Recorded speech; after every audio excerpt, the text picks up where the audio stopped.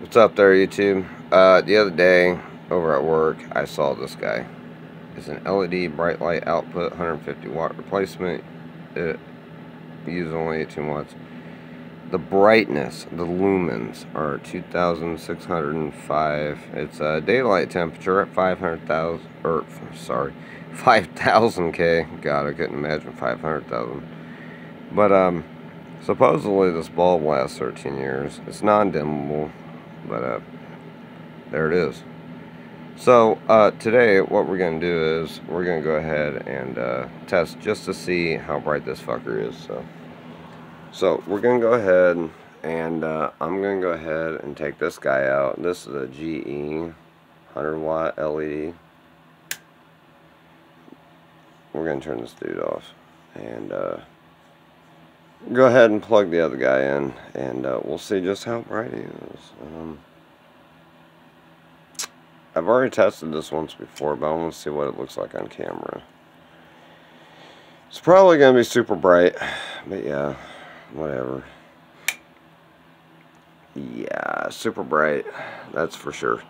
Uh, this uh, bulb is uh, bright enough to melt the retina out of your eye socket, so I mean, there's no question about it. This bulb is extremely bright. Let's see if we can't see the filaments in that. It's trying to focus, but it can't because it's too damn bright. There's eight filaments in there.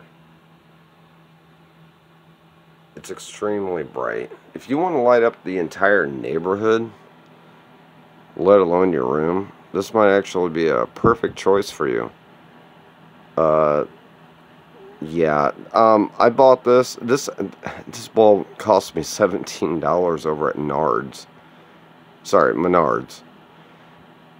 Uh, this is courtesy of Feit Electric. So, if you want a bulb that'll just totally, you know, light up the entire fucking room uh, this might actually be a pretty damn good choice for you because uh, I'm really having a hard time trying to focus the camera. That's how bright this thing is, man. This thing is extremely bright. 150 watts, uh, sure, but it it looks like it's about three or 400 watts. It's a totally clear glass enclosure makes it look a hell of a lot brighter than 150 watts, trust me. So if you want like nothing but total light, I mean just extreme brightness, uh, this might be a good choice for you, but otherwise stay away from this bulb. This bulb is so bright, it's uh, it's unbelievable.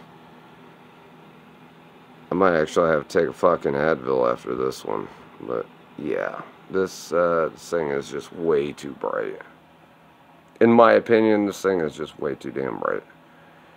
I I would not get this bulb. Not unless you absolutely needed it. Because this thing is just way too damn bright. But, um, yeah, that's my thoughts on that.